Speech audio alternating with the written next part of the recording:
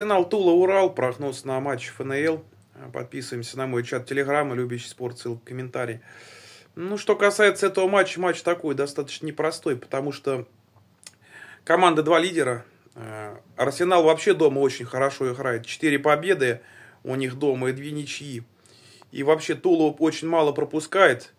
Э, забивает тоже не очень много.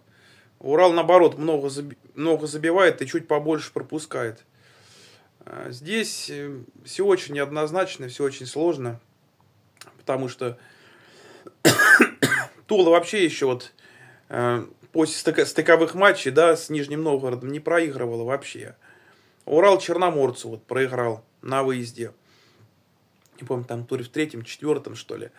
Но сейчас игра такая будет от ножа. Я думаю, конечно, здесь, э, например, много голов я не жду потому что думаю, что игра будет достаточно осторожная. Поэтому первый прогноз, думаю, что количество голов меньше двух в матче будет. А второй прогноз, все-таки учитывая статистику, рискну предположить, что э, все-таки Тульский Арсенал в этом матче не проиграет.